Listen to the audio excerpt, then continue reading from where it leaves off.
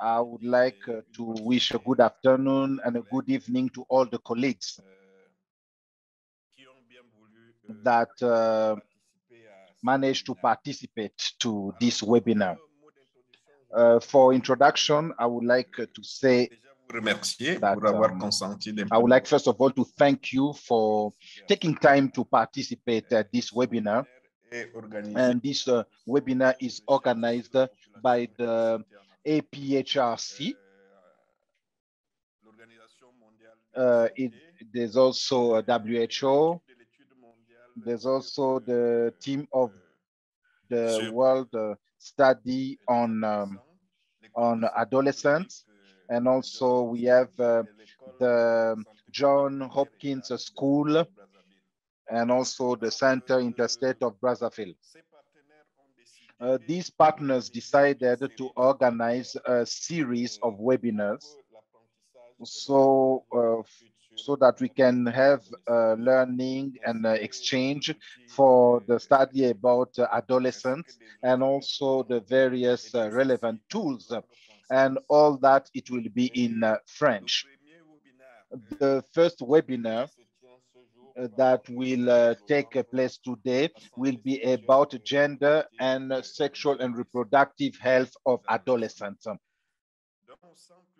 So without wasting any time, uh, I'm going to present to you the different panelists, uh, the colleagues that are going to moderate this webinar. I'm going to, to talk about the Je dois dire qu'au we have about uh, three colleagues.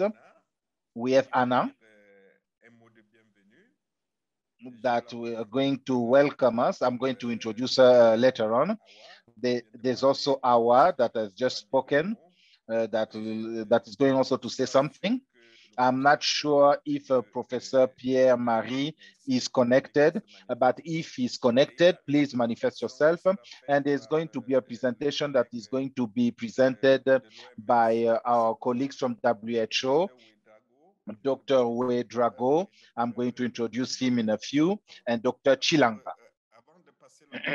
So before giving the floor to Anna, uh, I would like to introduce her briefly.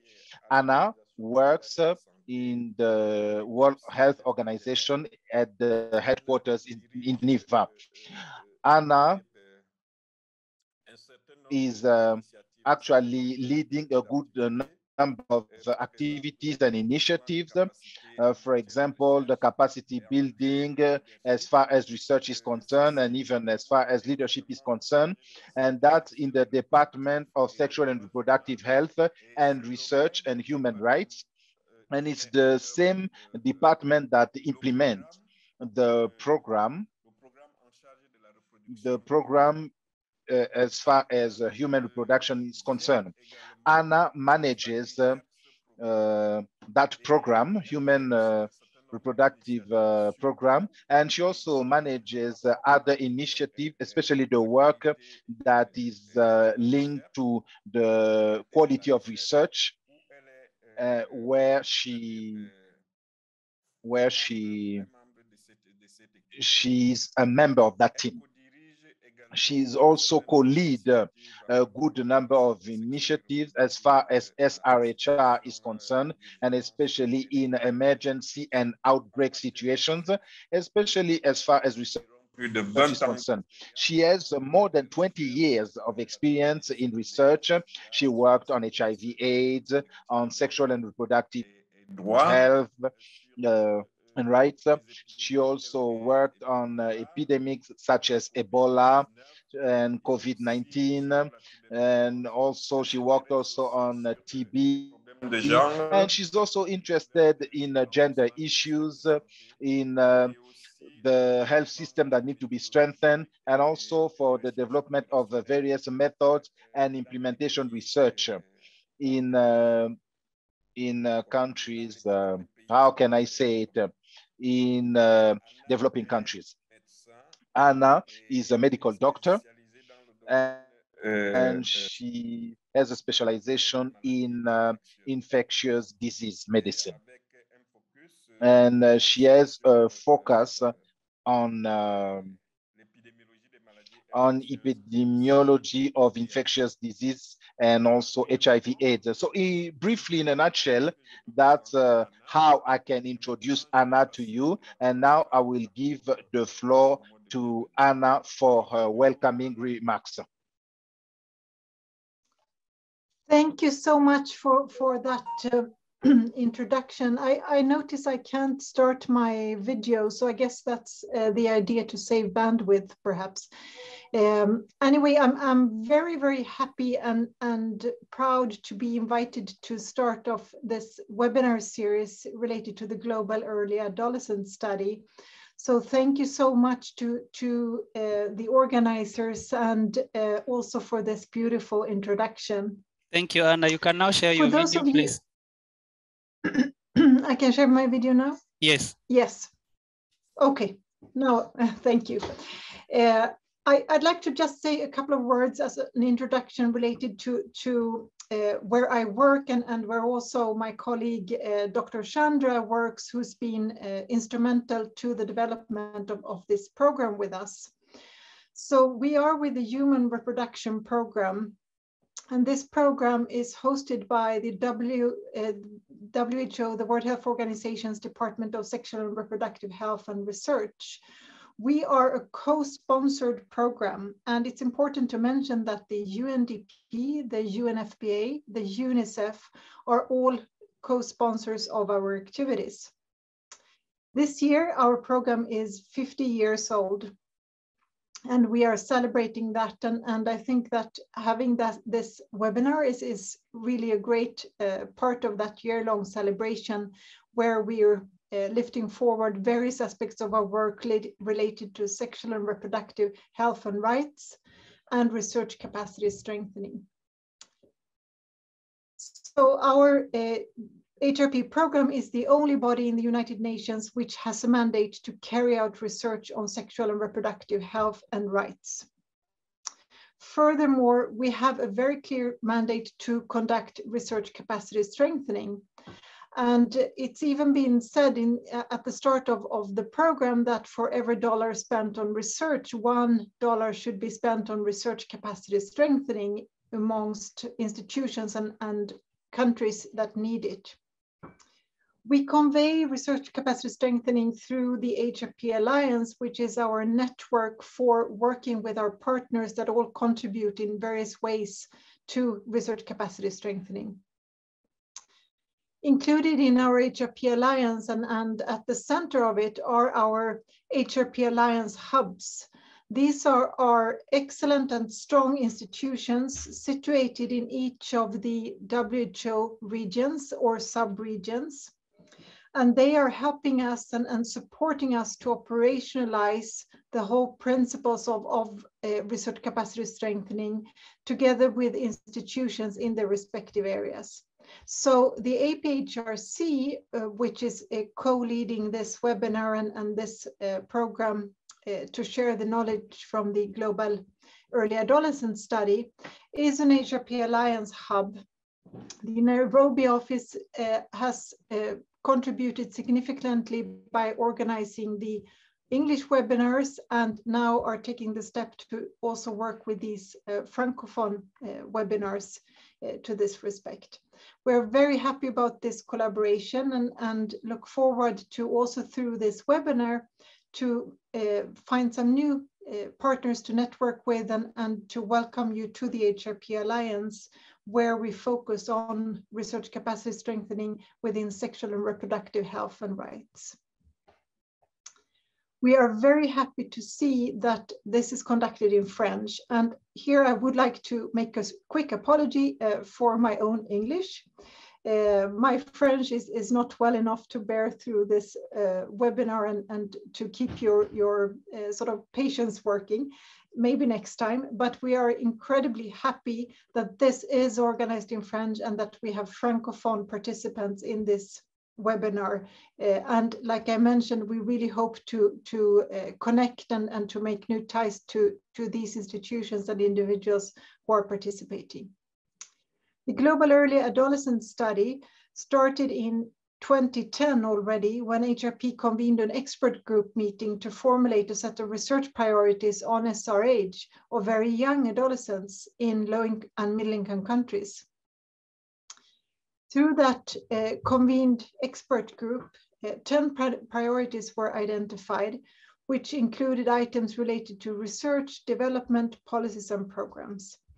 And one study that happened through these recommendations is the Global Early Adolescent Study, which is a collaboration between HRP, our program, and the Johns Hopkins Bloomberg School of Public Health. The objectives of the GEAS are to understand how social constructions of gender inform health and well-being across the adolescent years, and how this process unfolds in different geographic, cultural, and economic contexts to test how gender transformative interventions in early adolescence contribute to improving adolescents' health and well-being over time. Over the last 10 years, the GEAS study has really been successful and has contributed to systematic review reports, the development of indicators and tools, and the publication of a number of journal papers and reports.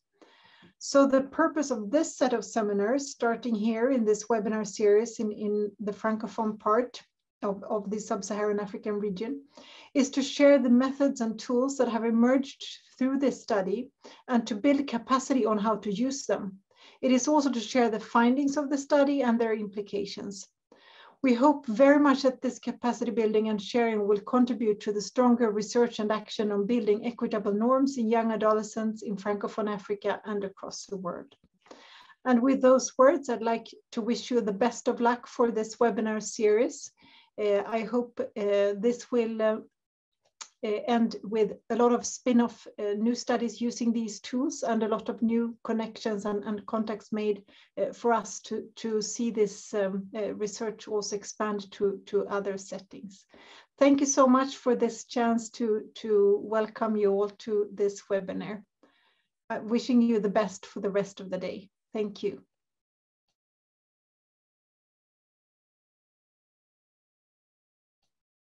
Merci, Anna, pour. Euh, Thank you very much, uh, Anna, for for this introduction. Uh, that actually starting us off uh, and that is linked to to uh, everything that we are going to do in this uh, series of webinars. So now, uh, maybe I didn't introduce myself. I just took the floor like that uh, because we started a bit later. My name is uh, Simplice uh, Mbolambasi. I am a medical doctor. I work uh, in the regional office for WHO in Brazzaville, and I'm in charge of uh, the uh, health of adolescents and youth in the school setting. So without wasting any time, I would like to give the floor to our uh, so that uh, she can give us a brief update uh, as far as our research centers on the population and the health in Africa. And then after our, I'll give the floor to the representative um, of CSPAC. Uh, if uh, the professor or the regional director is connected, he's going to take the floor. If he's not uh, connected, his representative will take the floor. So to you, the floor hour. Thank you very much, Simplice. Uh, very fast. I'll start my presentation. There's, there's too much noise.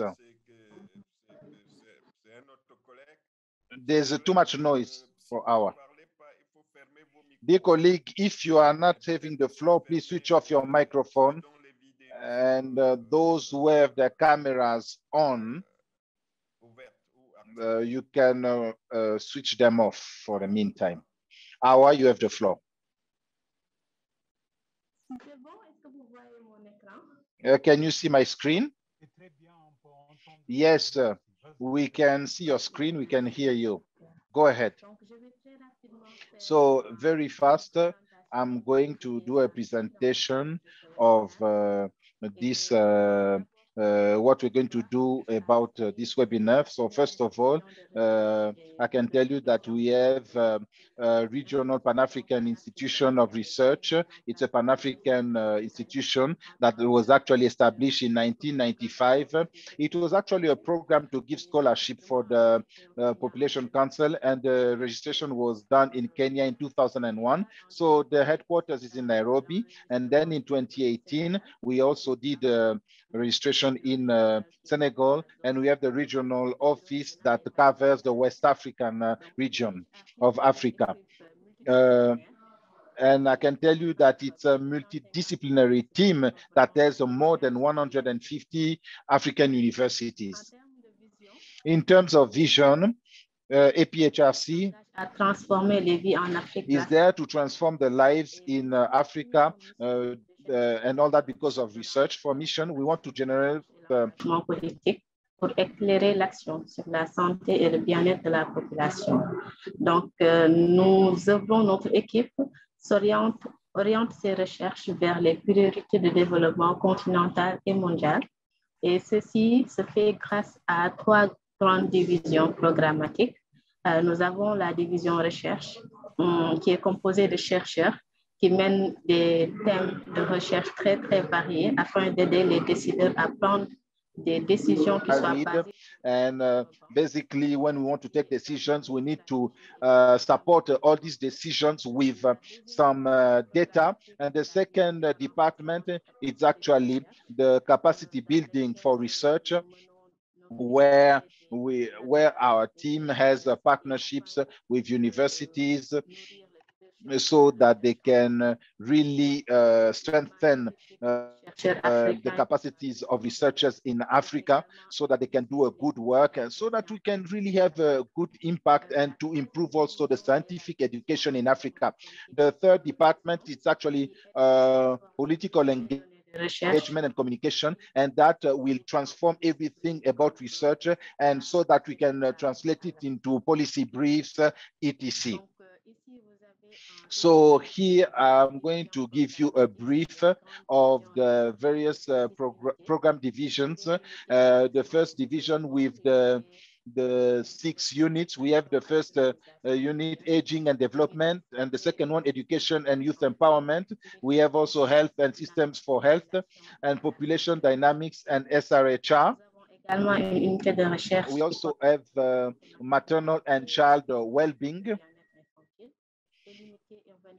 And we also have another unit for urbanization and the well-being in Africa. Monitoring. So all these units are actually monitored by uh, this uh, department. And like I told you, we also have uh, a division of research capacity strengthening, and we have uh, partnerships with universities, and they are interested in uh, higher education research. Uh, and we also have uh, various uh, training program and scholarships. And we also have a communication department is interested in everything that is linked to communication like uh, uh policy engagement and knowledge management and here you have uh, just, uh, uh, you can see where AP, APHRC operates. And we have uh, the two offices in Nairobi and Dakar. In green, you have the different countries in which uh, we have uh, research activities. In yellow, we have countries where APHRC has activities of capacity building and research. And the black ones show those the countries where we have activities as far as communication and research are concerned. So very fast, that's what I wanted to share with you. And I would like to thank you for your kind attention. Thank you. Back to Simplice. Thank you very much, Awa, for this uh, brief uh, presentation, uh, very rich in information. Now I would like to give the floor to Professor Tebe, if he's connected. If is not connected, maybe its representative can take the floor. Is uh, Prof. TB connected? Good morning, good morning, everyone. Yes, you are going to represent Professor TB. Yes, thank you very much. Uh, thank you all. It's with a great interest that I would like to join uh, this panel to debate um, on this uh, theme, this uh, very important aspect as far as uh, sexual health of the adolescents and also reproductive health of adolescents. So CSPAC, like you've asked, CSPAC is actually an interstate center for uh, higher education in uh, Central Africa. So the CSPAC is based in Brazzaville, in the Republic of Congo. So CSPAC uh, like uh, uh, you followed, it's an establishment for higher education. And actually, we have also teachings for masters for now. And we are in a dynamic uh, to move towards uh, uh, the PhD. But for now, we are still at the master level. Uh, CSPAC uh, was established in 1980 and uh, the activities were stopped in Congo. I think it was in, um, in 1997 because of the events that we we've known in the country military events.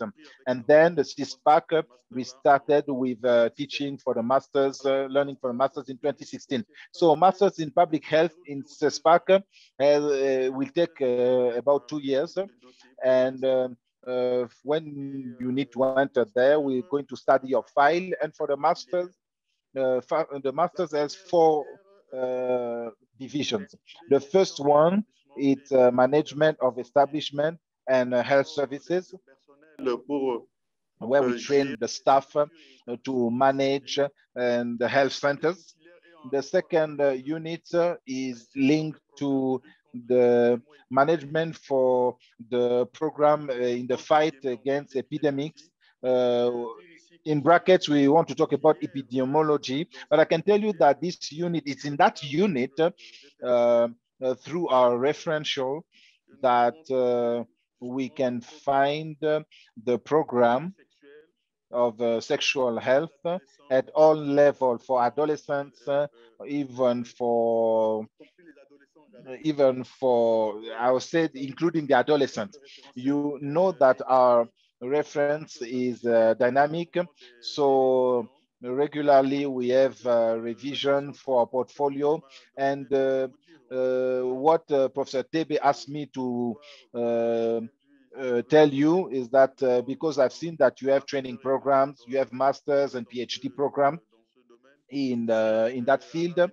So in the future, uh, if we could actually uh, have some exchanges uh, about these various curriculum as far as adolescent uh, health is concerned. We have another specialty that is uh, uh, linked to the promotion of the health. And the fourth unit of our masters is about uh, the water, environment, and the quality of various food products. We are in partnership with um, um, the public health institution of Rennes in France that actually help us in the development of uh, these uh, various uh, uh courses as far uh, curriculum as far as uh, this program is concerned. And I know that in 2023, we'll have something that will be concrete. So those are the various specialties of the masters of CSPAC. But apart from that, the CSPAC also organizes uh, some uh, uh, university diploma with varied courses and at this very moment, there's something that is happening with the initiation of research in health sector. And we are also thinking to put in place uh, some uh, courses uh, for the, the theme that we are actually seeing for this webinar. And I do believe that our partnership uh, with uh, APHRC will be very useful uh, because you know that CSPAC is regional and it regroups uh, the six countries of the CEMAC zone. Uh, but you'll be very uh, surprised that our students are not just from the six countries of these zones, but we have other people that come from everywhere in Africa. We have Burkina Faso, Mali, Guinea, etc. All these other J'espère pouvoir. Countries that are not part of the CEMAC. I think that I've responded to your concern, but I'm still available if you have other concerns. We are together. Thank you very much. Thank you very much, Sylvain, uh, for this uh, brief uh, presentation of the CSPAC. Uh, during the discussions, if the colleagues that are connected, if you need more information about the CSPAC, do not hesitate to ask Sylvain. And now I would like to give the floor to Dr. Chilanga that is going to make a presentation with uh, Dr. Ouedraogo. Allow me to introduce them uh, very fast. I will start with uh, Dr. Chilanga. Dr. Chilanga, who's a regional advisor in sexual and reproductive health uh, and rights, uh, work in the in the uh, universal uh, health cover uh, based in Ouagadougou. Dr. Chilanga, like I said, he is a regional advisor and he brings uh, technical support uh, to a good number of countries, uh, namely in West Africa and in Central Africa, and especially for for everything touching sexual and reproductive health and human rights. And uh, um, he also support in the formulation of the implementation, basically for monitoring and evaluation, and at the same time uh, for the reporting uh, or that concerns the various strategies, national strategies and national plans as far as sexual and reproductive health and rights are concerned. He also gives some support to strengthen our partnership, to strengthen the work as a network, and also to strengthen the capacities of the countries, and at the same time, to make sure that the countries can mobilize their resources, external resources and internal resources. So in that uh, field, he has an experience for more than 15 years. And uh, when he had the opportunity, he had the opportunity to work with a good numbers of organizations like Save the Children, Elizabeth de Glaser, Pediatric Health Foundation, UNFPA, uh, IPPF, uh, the regional uh, office for Africa. So Dr. Chilanga uh, has worked in various organizations, various institutions. Like I said, he's a medical doctor and he has a master's in medical anthropology. So for Dr. Ouedraogo, that is going to make a presentation with Dr. Chilanga. Dr. Ouedraogo is a medical doctor. He's a gynecologist he has a master's in public health, and he also has a PhD in um, uh, sexual and reproductive health. He is actually a regional advisor uh, based in Brazzaville. Dr. Ouedraogo brings uh, technical support and also strategic support to all uh, the, the the countries uh, that is in the WHO region of uh, Africa. And he also brings the development and uh, implementation of policies, strategies, and national plans uh, as far as sexual and reproductive health and human rights are concerned. He also strengthens the, he builds the capacities of the countries uh, for the implementation of monitoring and evaluation of all the initiatives, all the programs as far as sexual and reproductive health is concerned.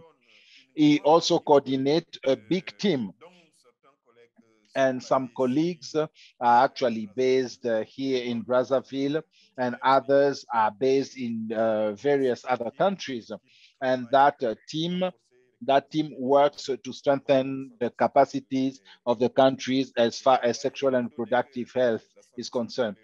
Uh, even though the sexual and reproductive health is a uh, cross uh, cross-cutting uh, uh, domain. Uh, he works in various uh, programs at the level of the regional office and even with the headquarters, and he works also with various partners. So he works in collaboration with different uh, programs within uh, in within the organization. He has more than 20 years of experience in strengthening reproductive health programs in the African region. So that's what I can say briefly uh, about uh, these uh, two eminent colleagues. And one is based in Ouagadougou and the other one is based in uh, Brazzaville. So without further ado, I would like to give the floor to Dr. Chilanga that is going to present the first part of the presentation and the second part is going to be presented by um, Dr. Leopold that uh, will also close this presentation that uh, will touch on gender and sexual and reproductive health and uh, rights of adolescents. Dr. Chilanga, Dr. Ouedraogo, you have the floor.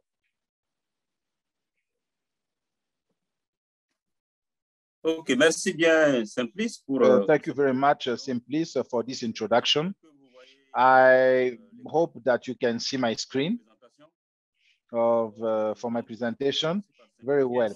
Like it was announced by Simplice, we are going to do uh, this uh, presentation uh, with my colleague, Dr. Chilanga. So Dr. Chilanga is going to do the first part, and we are going to talk about uh, the issue of uh, sexual and reproductive health of adolescents in the African region. And uh, it will be completed by my intervention that will talk about uh, the socialization or gender aspects for adolescents. So uh, thank you, and Chilanga, you have the floor. Uh, thank you very much, uh, Leopold, uh, Simplice, and all the colleagues. I'm very happy to have been given that opportunity to be part of this webinar.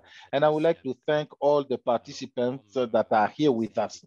Like it was mentioned, I'm going to start with a sur la situation background about the situation of the sexual and reproductive health of the adolescents in the region. And then my colleague is going to continue uh, to talk about the gender aspect. Next slide. Next slide. Next slide, please. So for the background, we know that the health status of the adolescent as far as the uh, age group is concerned, I can tell you that the improvement is very uh, slow. And when we talk about uh, health policies and the, the health world really ignore the adolescent. And we say that uh, more than 1 million adolescents uh, die every year and for causes that can be avoided. And I can tell you, adolescence, it's not just a period uh, uh, for, um, it's not just a period for physical change or sexual and cerebral uh, change, but it's also a situation, a period that uh, is linked to the formation of the beliefs, of attitudes, uh, and that's why also the various attitudes uh, and also the behavior linked to the gender uh, are developed and can have an effect uh, in life and especially as far as sexual and reproductive health is concerned. Next slide.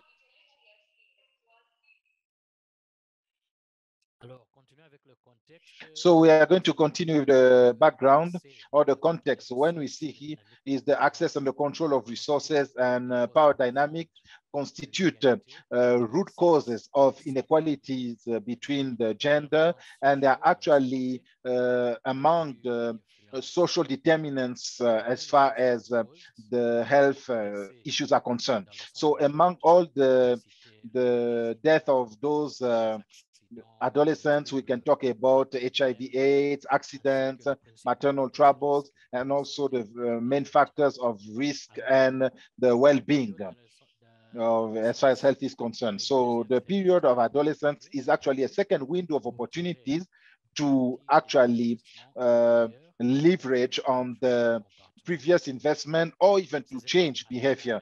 And these elements ask us to put some emphasis on gender as far uh, when we talk about health issues for the adolescents in the various policies, programs, as far as the sexual and reproductive health is concerned. Next slide.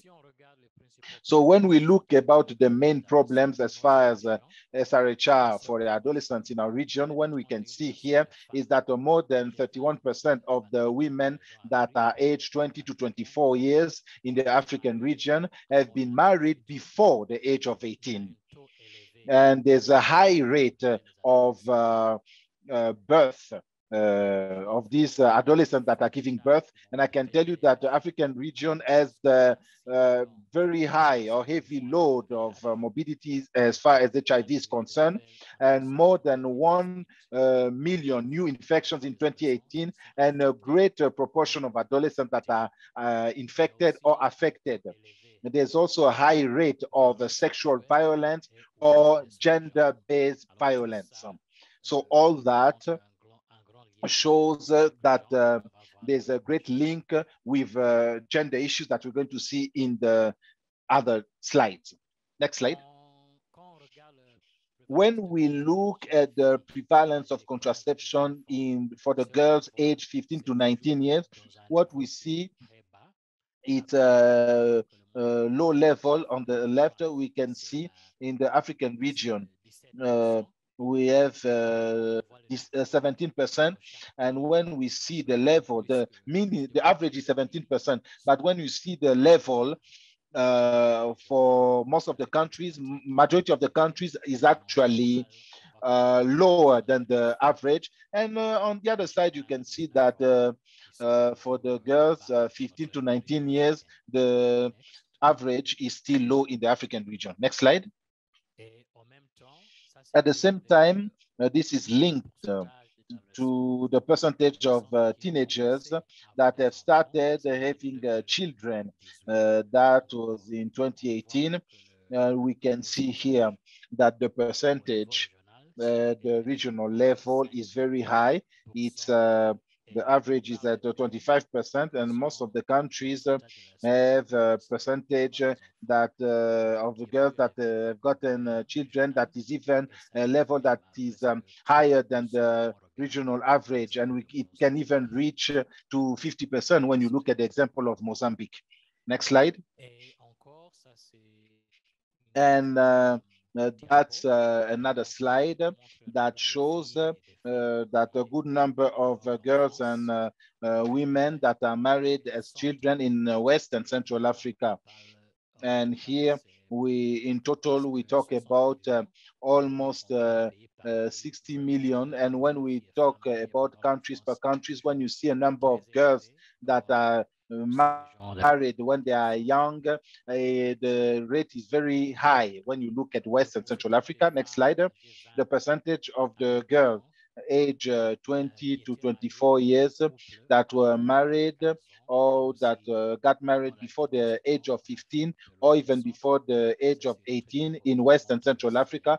That's another slide that shows all this information. And that's a level that is very high. When you look at uh, the West and Central Africa, and when we see uh, everything that is happening country per country. Next slide. So the level of uh, giving birth uh, for the Uh, teenagers, that's for 20, 2004 to 2020. The information that we have here, uh, there's a, a, reduction year per year, but you can still see that the level is very high even if uh, we have a good uh, uh, good improvements but it shows that we still have some work to do so that we can have a good reduction of that uh, phenomenon. And uh, when we are all uh, facing this COVID-19 pandemic, it also has a great impact in the life of the uh, teenagers. Uh, many uh, uh, many uh, many schools have been closed, and they couldn't continue with their studies, and they couldn't actually benefit from the services in the school. And parents maybe have stopped working, and it will change many things for the young girls in the family dynamics.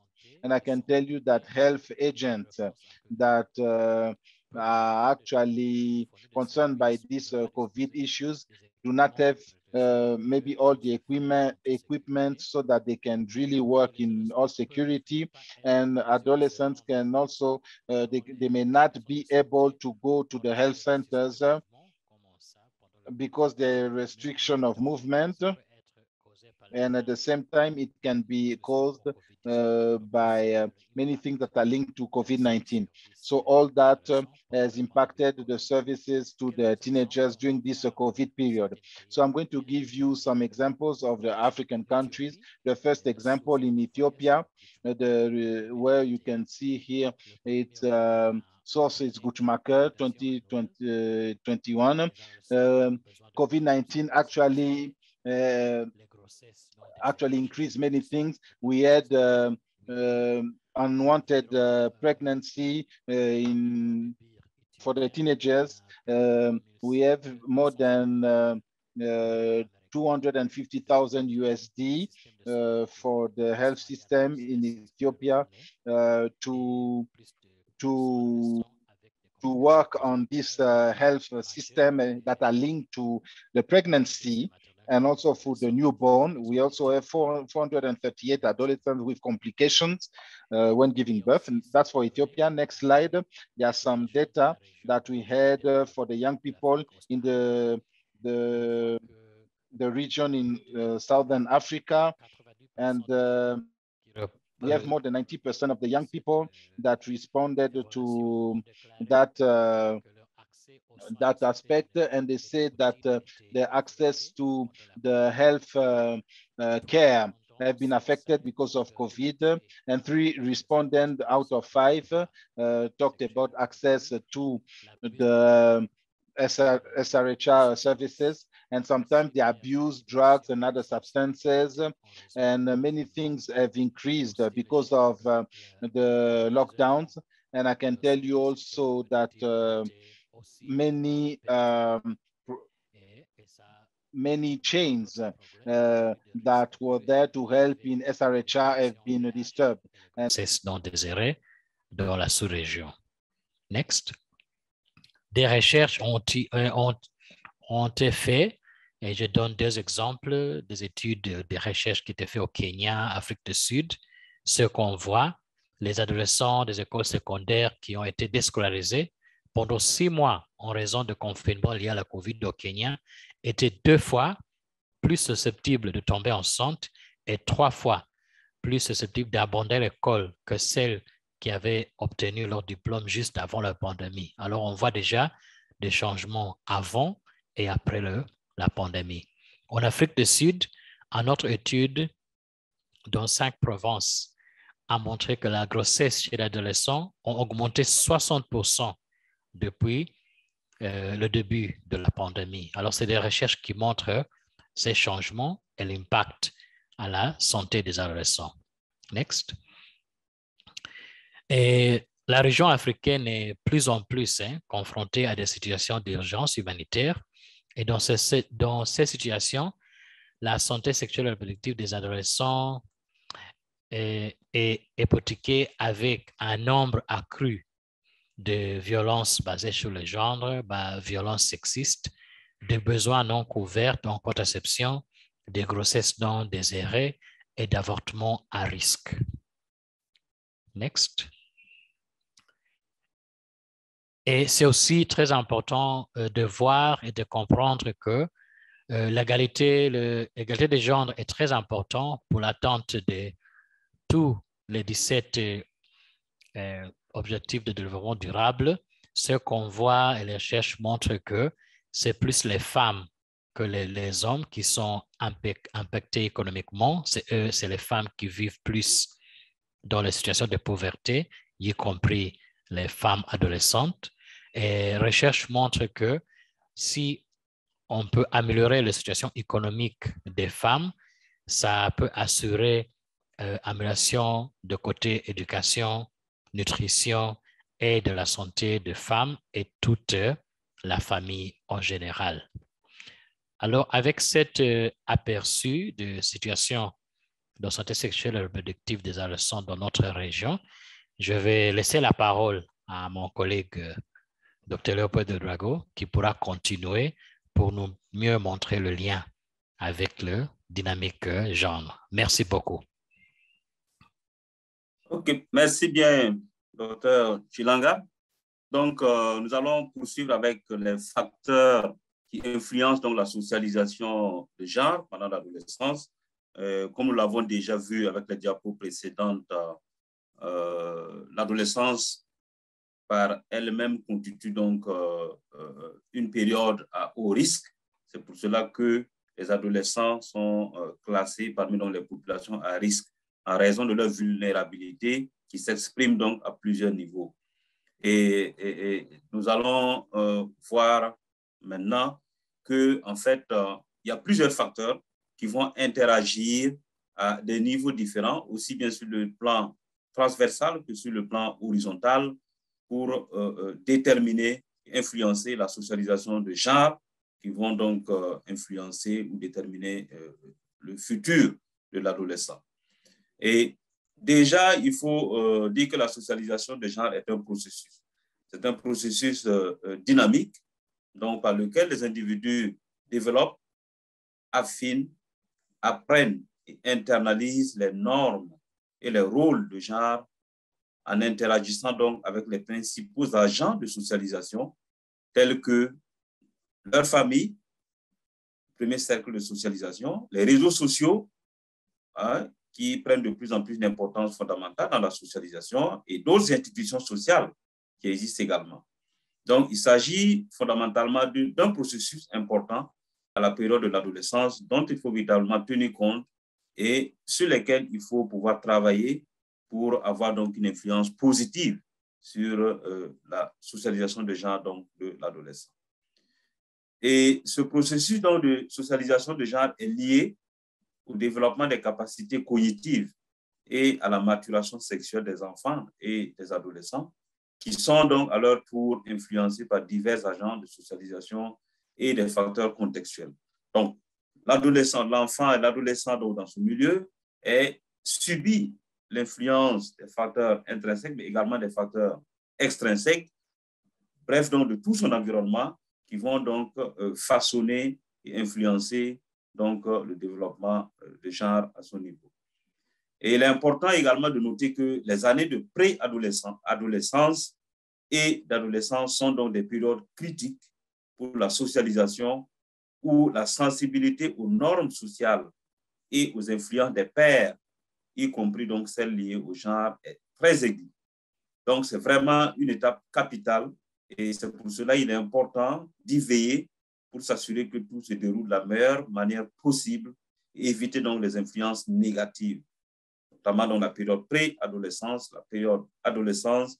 Il faut s'assurer qu'il n'y ait pas des influences négatives qui vont mal conditionner donc la socialisation de genre de l'adolescent.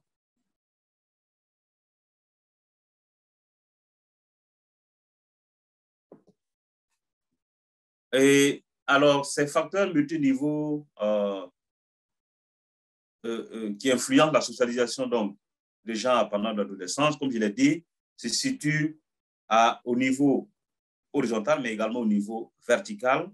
Et il est important donc de, de comprendre cette socialisation-là liée au genre et qui nécessite donc une connaissance approfondie de l'interaction entre l'individu et son environnement, puisque finalement, c'est l'environnement qui va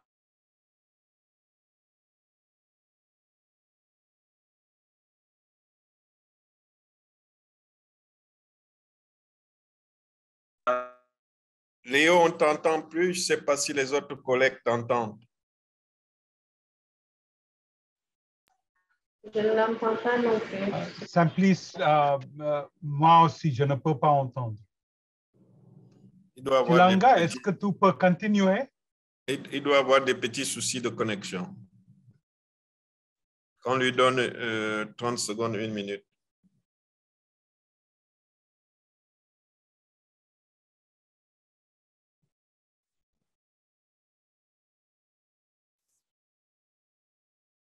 Simplice, Léo, non, tu es connecté. Chilanga peut continuer si euh, Léopold rejoint. Oh, euh, euh, désolé. Ah, il est là. Ah, je ne sais pas ce qui s'est passé. Vous m'entendez maintenant mieux? Oui. Est-ce que la slide est visible? Non, pas encore. Ah, ok, une seconde. Je crois qu'il y a eu un problème de connexion. Donc, je refais ça.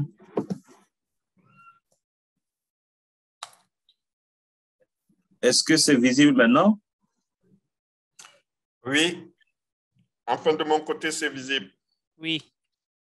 Oui, Ok. pour moi aussi. OK, excellent. Donc, alors, je présentais ce cadre multiniveau qui, comme je l'avais dit, euh, euh, s'étale au- aussi bien au niveau vertical qu'au niveau horizontal et reprend donc tous les facteurs hein, euh, aux différents niveaux qui influencent et qui vont conditionner donc, la socialisation de genre et aboutir donc au niveau résultat outcome que nous avons. Donc, complètement à droite, vous avez les résultats attendus en termes de outcome, donc, euh, qui va tenir compte des différences de genre en matière d'éducation, euh, de participation euh, au niveau social, au niveau politique, etc. Et y compris les éléments en rapport avec les violences basées sur le genre, tout cela va tenir compte de ce qui est à gauche. Et ce qui est à gauche, donc, c'est de tous les facteurs qui interviennent, aussi bien au niveau individuel en bas, au milieu, au niveau euh, interactionnel et au niveau structurel plus haut. Le niveau structurel s'intéressant beaucoup plus donc au niveau euh, socio-économique, conditions socio-économiques, euh, le niveau euh, patriarcal, genre, le niveau politique structurel et, et même le niveau social structurel, y compris la race, la classe sociale, etc. Et les médias, sans oublier les médias, au niveau global, tout cela a une influence sur le développement des gens donc, de l'adolescent. Et au milieu, le niveau social interréactionnel, comme on le dit, c'est essentiellement les influences des parents, de la famille de façon, euh, disons, au, sens le plus large du terme. Et les institutions sociales, y compris les écoles, les groupes religieux, euh, les réseaux sociaux, euh, l'interaction, l'influence des pères, hein, les médias au niveau local, même le voisinage. Tout cela donc a une influence sur, n'est-ce pas, la socialisation de genre. Et, bien sûr, au niveau individuel, on a les facteurs biologiques, les différences sexuelles, euh, les différences physiques, etc., euh, et la personnalité, etc., qui vont donc influencer également la socialisation donc, des genres. Donc, voilà euh, globalement tous, tous les facteurs qui interviennent hein, de façon imbriquée dans la socialisation des genres et sur lesquels il faut donc travailler afin d'obtenir une influence positive pour conditionner donc le développement, euh, la socialisation des genres donc, de, de l'adolescent.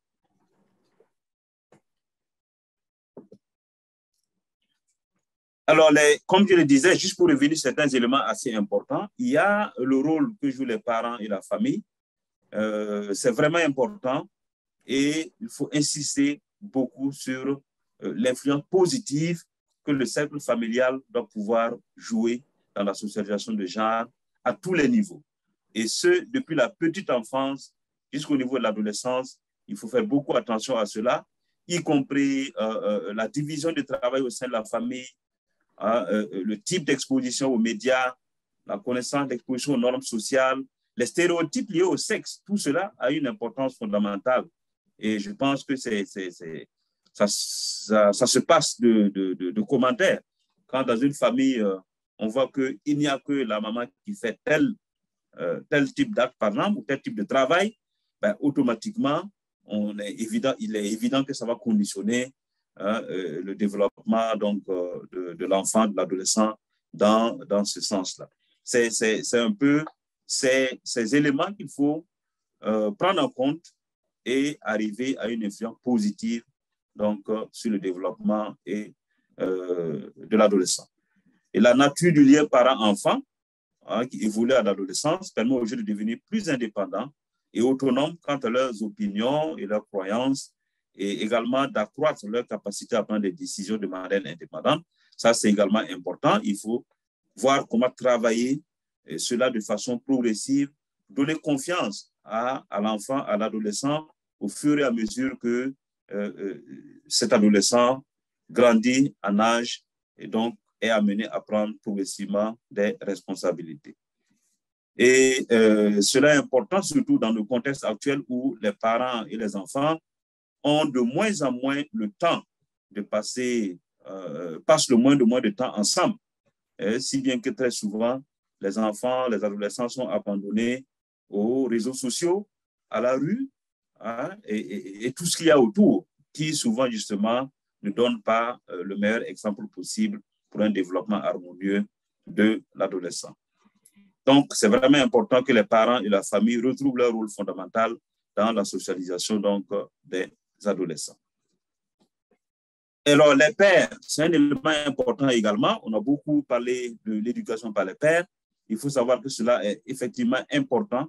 Les pères jouent un rôle fondamental dans le développement des capacités socio-cognitives et émotionnelles de euh, la préadolescente et de l'adolescence. Et il faut donc, euh, en dehors, et, il faut savoir en tenir compte parce que les adolescents, les jeunes enfants sont attirés par des amitiés donc liées au père en dehors de, l'immédiateté de la famille.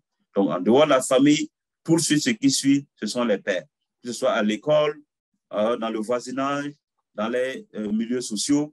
Voilà les pères qui vont influencer le développement donc, euh, euh, social de l'adolescent. Et donc, il faut également tenir compte et faire en sorte que cet environnement dans lequel grandit l'enfant puisse être le plus sain possible euh, pour qu'il puisse avoir des influences positives.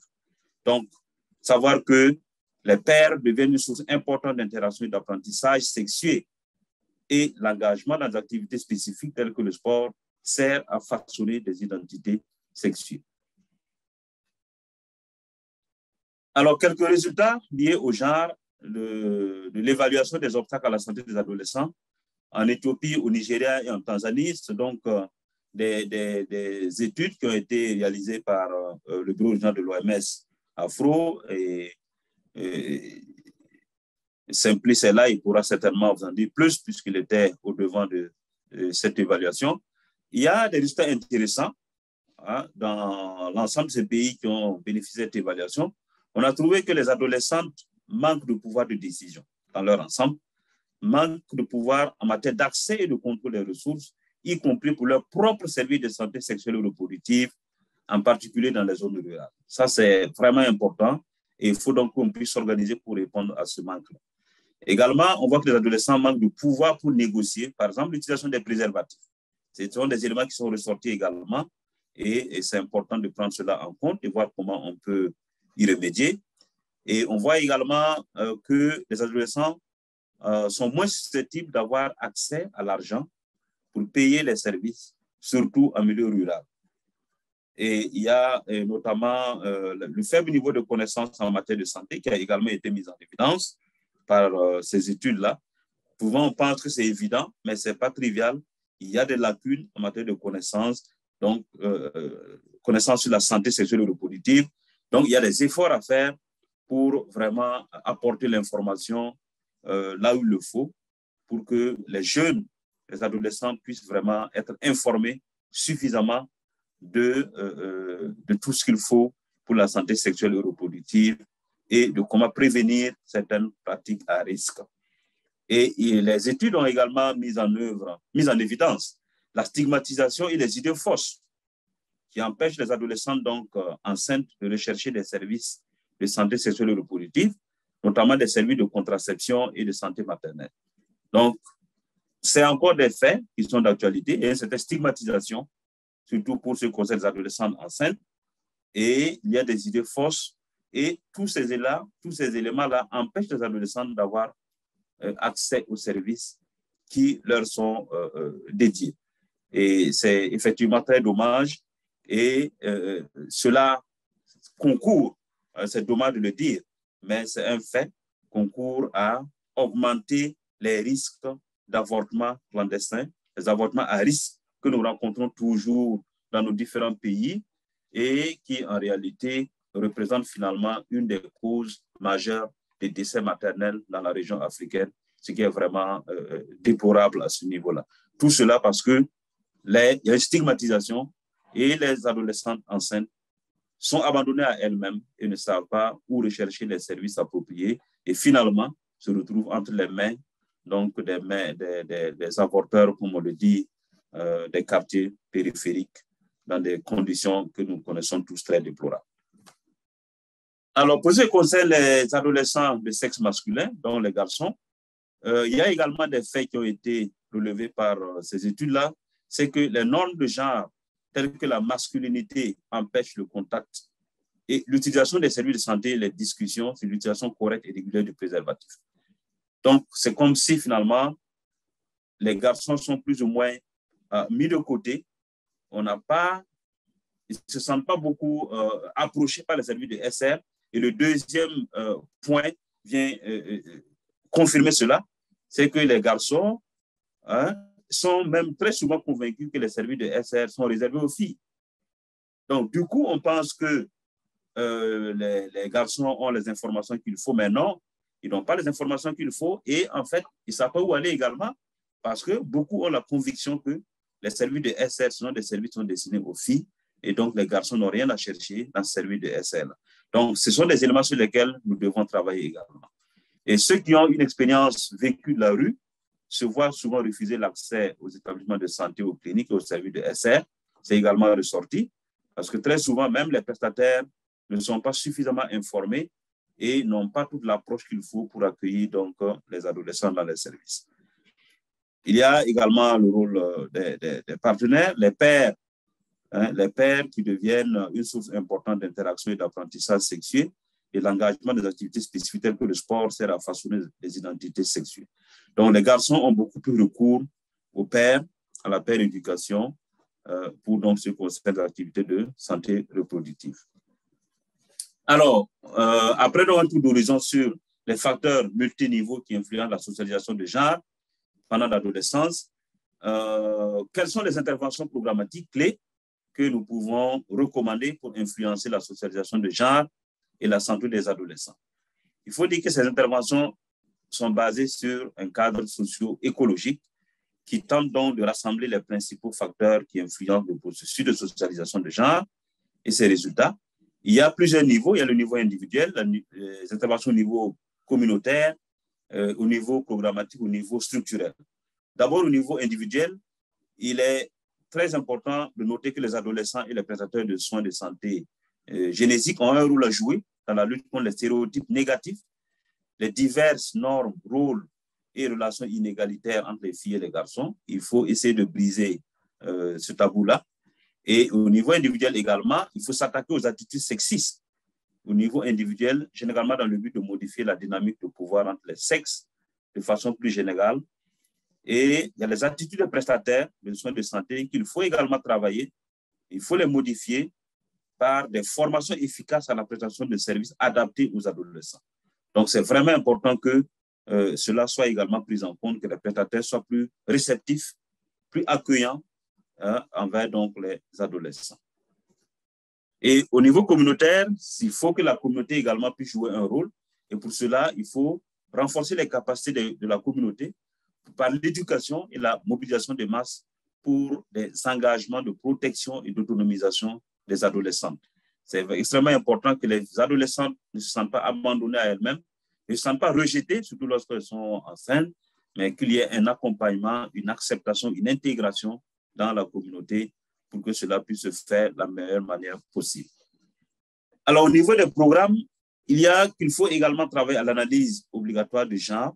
Ça, c'est extrêmement important pour pouvoir identifier les questions contextuelles liées au genre et servir de base pour des interventions et des projets de santé sexuelle et reproductive afin de garantir un accès universel. C'est extrêmement important donc de euh, pouvoir euh, euh, traiter de ces questions contextuelles il faut donner aux jeunes des informations, des compétences et un soutien, des services adaptés aux jeunes. Il faut introduire donc les jeunes dans la manière dont le genre est construit dans la société et leur donner les moyens d'adopter et de défendre les rôles et les relations de genre alternatifs et plus égalitaires. Se concentrer directement sur le changement des attitudes et des croyances des jeunes, c'est vraiment important. Il faut leur donner les moyens de remettre en question les normes de genre établies par le biais d'une formation sur le genre. Il faut que les jeunes eux-mêmes soient formés, soient capacités pour pouvoir euh, s'identifier dans la société de, façon, euh, de, de, façon optimale. Et je pense que c'est également important de pouvoir intégrer des interventions en faveur des personnes handicapées dans tous les domaines du programme ciblant les adolescents. Très souvent, c'est un volet que nous tendons à oublier, la prise en compte des personnes handicapées dans toutes nos interventions hein, et, et, surtout qui concerne les adolescents, il faut savoir également en tenir compte. Alors, au niveau structurel, c'est les politiques et les programmes actuels, il faut pouvoir les évaluer et voir si sont vraiment adaptés aux adolescents et s'ils tiennent compte de la dimension de genre et s'il y a lieu, les mettre à jour. C'est extrêmement important. Il faut renforcer les systèmes nationaux en mettant l'accent sur l'amélioration de l'accès des groupes défavorisés, notamment les jeunes, les pauvres en milieu urbain, les communautés rurales, les populations autochtones, les personnes handicapées, et s'attaquer à l'inégalité entre les sexes, la violence sexiste, la discrimination fondée sur le sexe par le biais donc d'intervention d'autonomisation des adolescents, c'est extrêmement important, y compris par le développement donc euh, socio-économique. Alors, quelques opportunités pour finir. Il y a qu'il y a quand même un mouvement d'ensemble au niveau mondial, au niveau régional, en faveur donc euh, de, de, de, de, la socialisation de genre. Et euh, il faut déjà commencer par les objectifs de développement durable, mettre un accent particulier sur cela. Le protocole de Maputo, qui est également d'actualité, et la conférence donc, euh, sur la population de développement, ACD plus 25 de Nairobi, qui a également remis euh, sur la table ces notions fondamentales de socialisation de genre et d'habilitation donc des adolescents. Il y a euh, les 16 jours d'activisme que nous connaissons certainement tous contre la violence basée sur le genre, qui est célébré donc chaque année du 25 novembre jusqu'au 10 décembre, date de la journée donc, des droits humains. Et ces 16 jours d'activisme contre la violence basée sur le genre représente en fait un cadre stratégique aux personnes et organisations du monde entier qui appelle à l'action pour prévenir et éliminer la violence à l'égard des femmes et des filles. Et cette année, enfin l'année passée 2021, euh, le thème c'était bien sûr Oranger le monde, mettre fin dès maintenant à la violence à l'égard des femmes. Il y a également la conférence des hommes de l'Union africaine sur la masculinité positive, la leadership pour éliminer la violence contre les femmes et les filles. C'est juste un rappel parce que cela a eu lieu euh, récemment. C'était une conférence inaugurale de l'Union africaine et qui a donc repositionné donc le thème des hommes leaders africains qui font la promotion des approches de masculinité positive pour mettre fin au fléau de la violence contre les femmes et les filles en Afrique. Et alors, euh, pour finir, quelques messages clés, c'est que il faut une volonté forte de veiller pour veiller à ce que les adolescents ne soient pas laissés pour compte dans le contexte des DD. Et il y a une nécessité d'accorder une attention particulière à leur santé sexuelle et reproductive, réitérée dans la liste des actions clés pour la mise en œuvre du programme d'action de la conférence internationale sur la population de développement lors du sommet de Nairobi. Il y a une urgence de s'occuper de la santé sexuelle et reproductive des adolescents en Afrique subsaharienne hein, afin de briser les inégalités flagrantes qui existent avec d'autres régions du monde.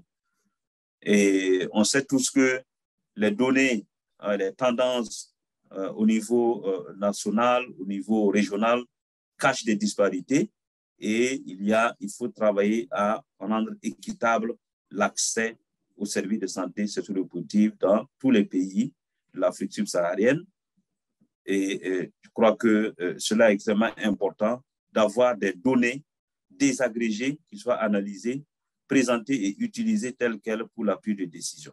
C'est vraiment l'important des données désagrégées et nous y travaillons tous actuellement au niveau donc régional hein, avec euh, et les autres collègues pour que cela puisse donc aider à l'appui de décisions éclairées. Voilà, je m'arrête là sur ces messages clés. Merci pour votre attention. Merci, euh, Shalanga. Euh, merci, euh, Léopold. Merci euh, tous les collègues qui, qui, ont fait des présentations. Je veux faire un bref résumé rapidement de tout ce qui a été dit. Et comme ça, on va ouvrir la session questions et réponses. Alors, brièvement, on a vu que L'OMS, au niveau du siège, à travers son programme, programme sur euh, la reproduction humaine, euh, euh, conduit un certain nombre de recherches en partenariat avec plusieurs institutions au niveau global Et ces recherches euh, euh, visent à générer des évidences, à renforcer les, capacités euh, des partenaires, les capacités euh, euh, des pays. Et ceci, a un accent sur euh, euh, euh, les jeunes adolescents, ce que je pourrais appeler la première ad- adolescence. Donc, le siège à travers ce programme qui est logé au niveau du département de la santé sexuelle et reproductive et Department of Sexual and Reproductive works in collaboration with several partners, and we also have uh, several UN agencies. As far as the research center on, uh, we have a Pan-African Institute, which is a APHRC that was created in 1995. The mission is to generate data and build uh, countries and partners' capacities in terms of research. The headquarters is in Kenya, as it was said. We have a regional office that is based in Dakar. When it comes to CS Park, uh, it is a regional institution of uh, public uh, health uh, whose senior members organize several programs uh, and it leads to a master's degree. The institution also delivers university degrees, especially on research. And uh, therefore, this uh, institution would also like to be involved in the area of sexual and reproductive health, especially the adolescent area. As far as gender and sexual and reproductive health is concerned, especially for adolescents, when it comes to the context, we have data that shows that more than 1 million uh, adolescents uh, uh, die eh, to HIV AIDS, road accidents, maternal problems, as well as uh, mental problems. Therefore, here we need to consider the gender problem among adolescents. because gender uh, we in Africa we have the problem of early marriages. We have uh, the unwanted uh, pregnancies. I've just spoken about HIV/AIDS, which is among the major causes of mortality with a very high rate. We also have uh, sexual violence, and uh, that has a link with gender dimension.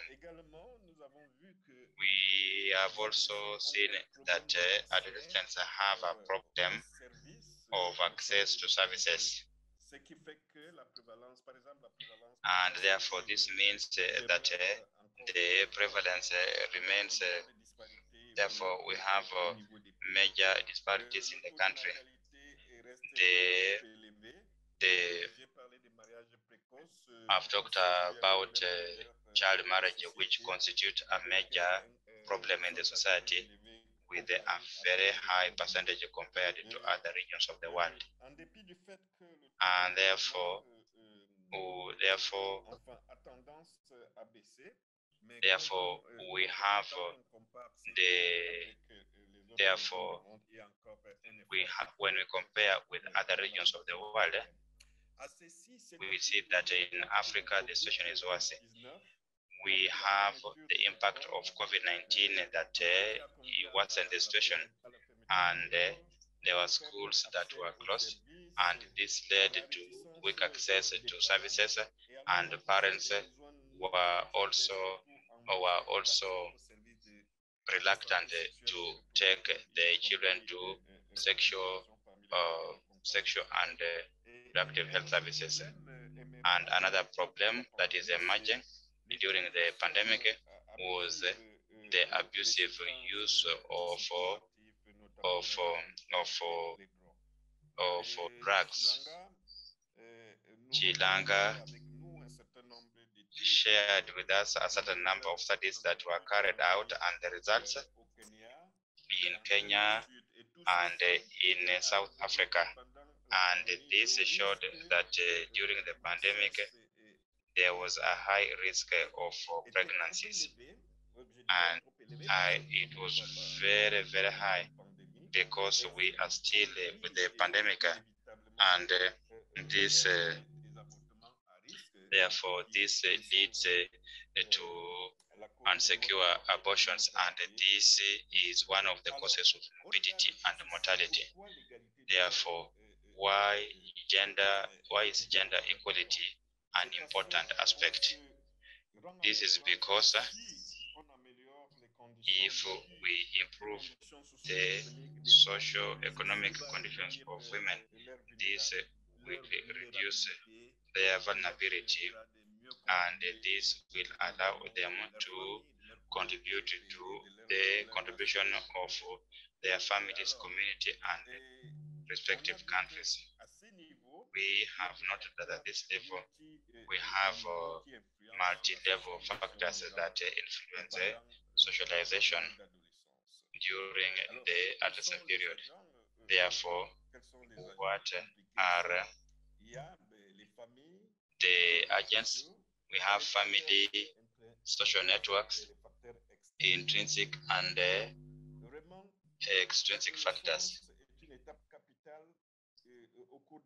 We also have uh, reluctance and uh, through peers we have individuals who also uh, who are also influenced.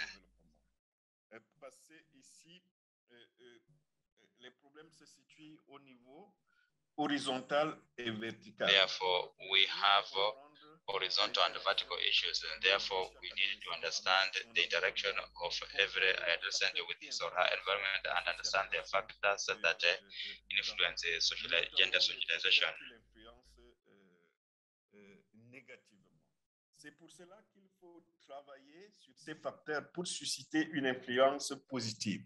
Therefore, we have uh, the, you have to begin with the family circles and understand the link between the parent and children and uh, and uh, you can uh, therefore strengthen the capacity of adolescents so that they can take informed decisions and involve the peers.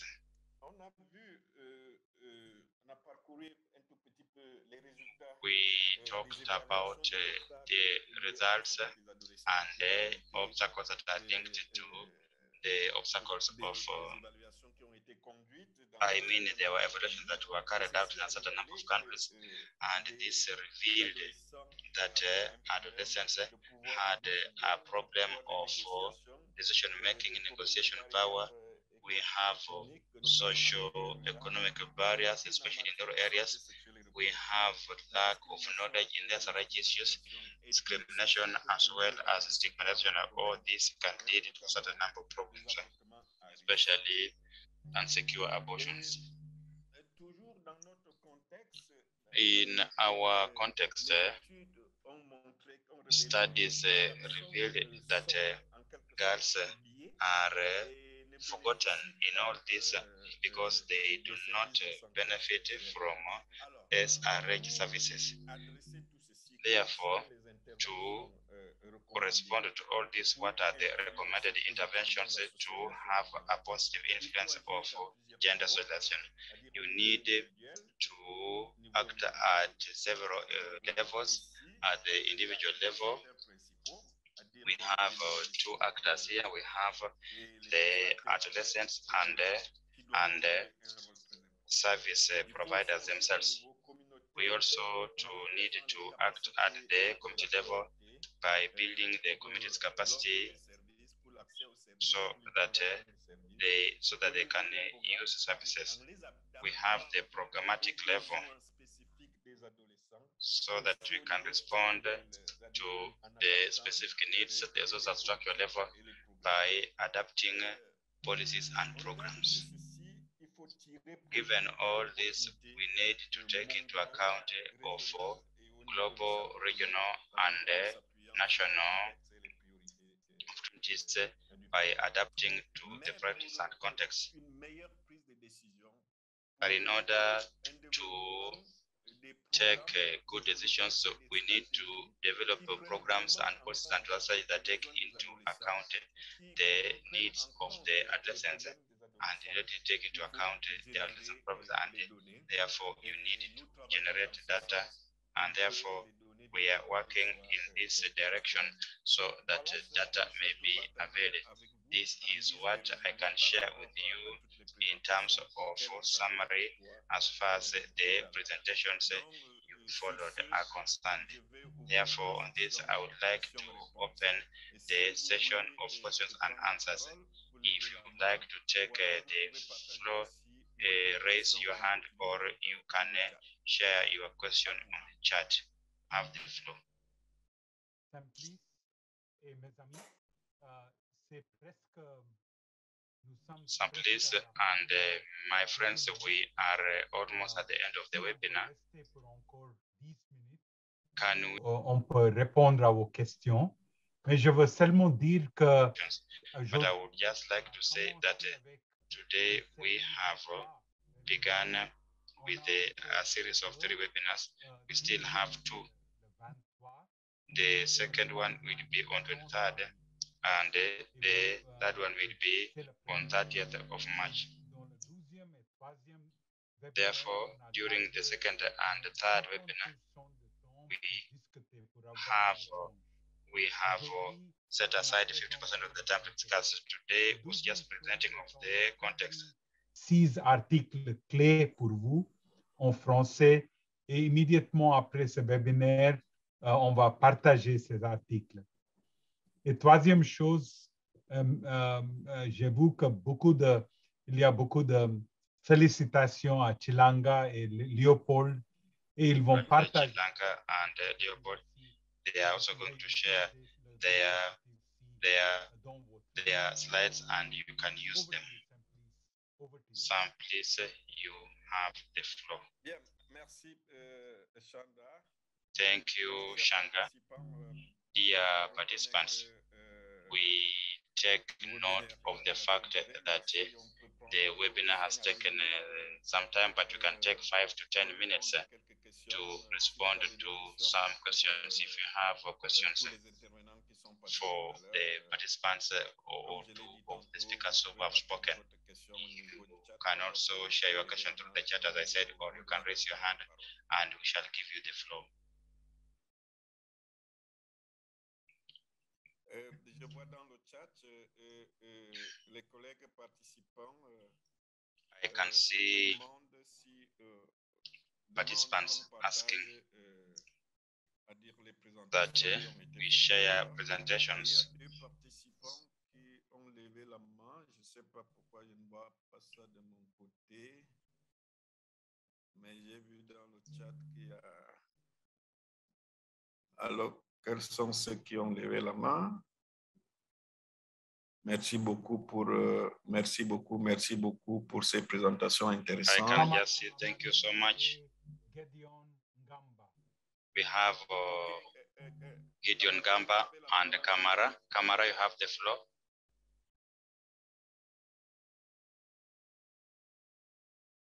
Cher camarade, vous avez la parole.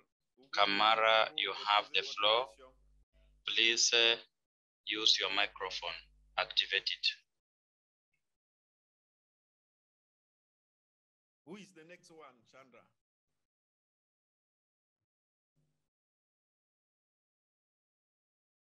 Gedeon Ngamba. Gamba Gideon. Good evening, everyone.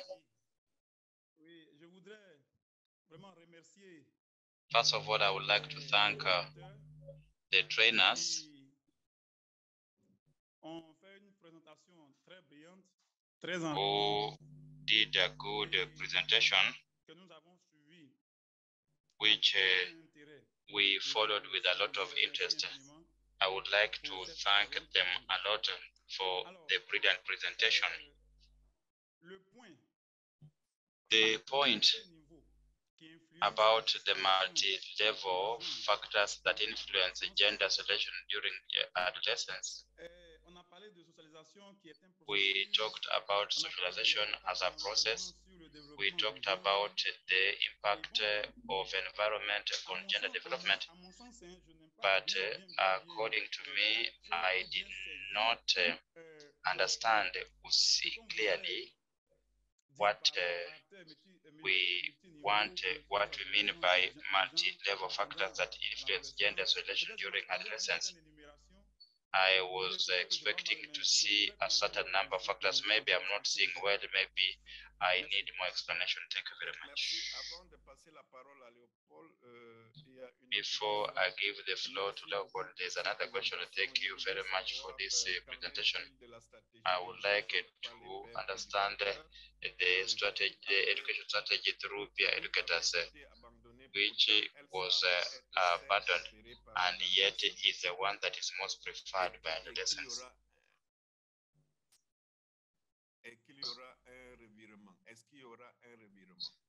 Therefore, can this uh, be revised? Therefore, the Paul and Chilanga, you can take these uh, first two questions. Okay, merci, merci bien, Simplice, merci. Thank you very much, uh, Simplice. accordé donc au sujet. Je pense que And I would like to thank participants uh, for questioning questions. It shows that uh, the questions are interesting. It's uh, interesting to see this uh, kind of interest. And thank you for comments.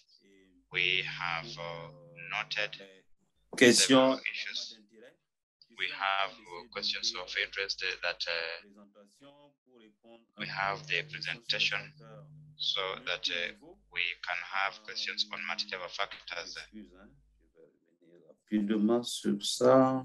Il y a un schéma, euh, je ne sais pas si vous voyez la I don't know if you can see the presentation.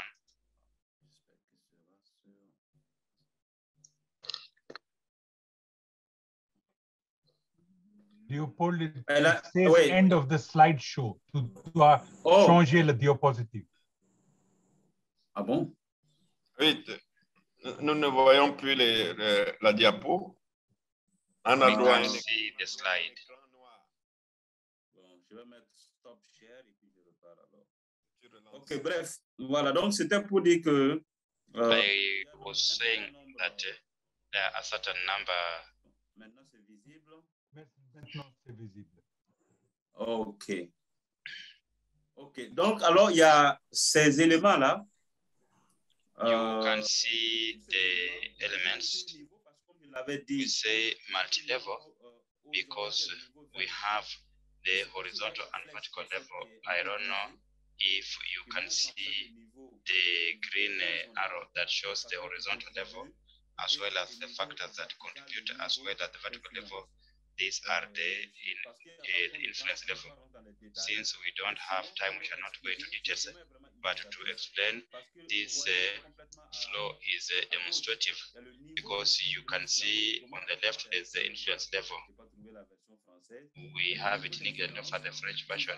We have uh, the influence which I have uh, the structural level, which is the highest level compared to other levels, because we have the national, supranational levels. Au milieu des facteurs qui influencent. Ces We have the middle. These are factors. Quand on prend le When you talk of the first level, we have supranational national, and we have the social economic context. We have the gender context. We have uh, patriarchal societies, and we also have uh, the political and police level, and we also have the social structures like the social class, the race, and all that is a level that is very high and secure, and therefore the media, the global level, therefore this is cultural level, and therefore this has uh, an important uh, influence on gender socialization among the adolescents. Therefore, we have this level at the supranational level, and therefore, when we look at the, interréactionnel, comme on le dit, we have the different level. We de have interaction at the family level between the parent and child. We have the education structures like uh, schools, religious groups. We have social groups like peers we have talked about, local media. Even the neighborhoods are some of the elements, and below we have the individual level. We talked about biological factors, uh, sexual maturation, physical maturation, personality, which is the lowest level. Therefore, this is what you can say. Therefore, the therefore these are uh, the different levels, and uh, at every level we can see the vertical level, and uh, we have the different factors. We have continued on the right. Therefore, we have the structure level. these uh, conditions, the opportunities and the structures, including the labor division in the society. And uh, this will have an influence on the elements on the, uh, at the vertical level, especially at the education level. les éléments de motivation, And uh, this will uh, therefore, je peux le dire ainsi, this uh, therefore euh, en matière de genre. Et le troisième niveau, c'est vraiment l'identité de genre au niveau même individuel. Therefore, we need to look at the gender identity. Therefore, when we go on other sides, Ils contiennent euh, les éléments, y compris les éléments donc de, de, de, de- genre, de différenciation de genre, different elements, uh, qui vont y con- conditionner également la violence. uh, will condition gender-based violence as well as attitudes and even beliefs. et les compétences en matière même de, de, de, de- genre. Donc voilà globalement tous les facteurs qui interviennent hein, dans euh, la These are some of the factors that uh, influence gender selection, and uh, we have a different level. And as I said, we need to know at what level we need uh, we need therefore to work, and uh, what we also need uh, to have more positive influence uh, during each one of these uh, levels, so that we can uh, have an influence.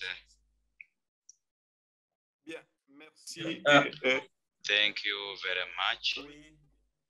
Donc, je crois que la, la, la, la deuxième question est également liée à cela. The second question is also linked to that the issue of prayer educators will come. It's not uh, negative. Est-ce qu'on peut parler peut-être de prudence? Parce que comme on l'a dit, euh, l'éducation par les pères, the hein, peer education, it needs to be well framed We need therefore to know that uh, there are peer influences, and we need to know that uh, the peers have the competencies of know-how and knowledge, so that uh, they can have. Therefore, all this environment needs to be looked at so that uh, the peer education is uh, profitable. Adolescents. Therefore, there are studies that have been done and they show that this has not always been the case. Therefore, what we need to say is that uh, we need to pay attention so that uh, we do not uh, encourage the peer education negatively. We need to make sure that uh, conditions are therefore are take place in good condition, And that's why we have peers uh, as a part of the important factors uh, that uh, therefore we need therefore to look at it at the optimal level. Therefore, dans, dans, le- dans, dans, dans- de l'autre côté, si je peux le dire. therefore, this is what we need to take care of. Thank you very much. merci, Léopold. euh, Thank you, Leopold. crois qu'on on- on va- I think uh, that uh, we should end this uh, webinar that was very rich in, in information. Excuse me, Simplice Suleiman would like to say something. Maybe we can end with a response by one of our colleagues. Suleiman shall be the last person to ask a question. Suleiman.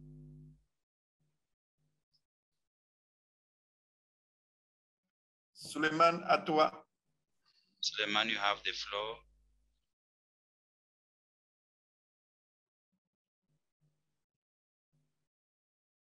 Suleiman, on t'entend pas. We are not getting you. Je ne sais pas, peut-être est. Maybe Suleiman has left. Les collègues qui ont des, des commentaires, des questions, vous, vous with comments, euh, questions, euh, you can put them in the chat. on, on va, on, va par- on va parcourir euh, We shall eh, contributions, tous vos commentaires et, et- look at your et toutes les contributions questions qui, qui sont restées en instance. and all the questions that were not uh, responded. What I would like to say before I end is that we talked about a series of webinars. webinaire et il en reste Today was the first webinar. And uh, we still have two. Deuxième aura lieu I think that uh, the second one shall take place uh, on uh, 23rd and the last one on 30th. Therefore, this is a well coordinated uh, follow-up. Therefore, therefore, we, shall have therefore more information that we shall uh, that uh, we shall uh, avail to you. If there are no questions, I would like uh, to thank uh, all the colleagues and uh, organizers. I would like to thank Chandra. I would like to thank uh, other colleagues who took time to participate. I know that we have some of our colleagues in East Africa. It's uh, about uh, nine o'clock, but since the theme was very important for them, they took time to connect. I would like to thank everyone and wish you a nice evening and uh, see you soon. We shall still be together and we hope that uh, that uh, we shall see you again. Therefore, we shall be together on 23rd. Thank you very much, everyone. Thank you, Peter Ahmed Chilanga. Thank you very much. Thank you very much.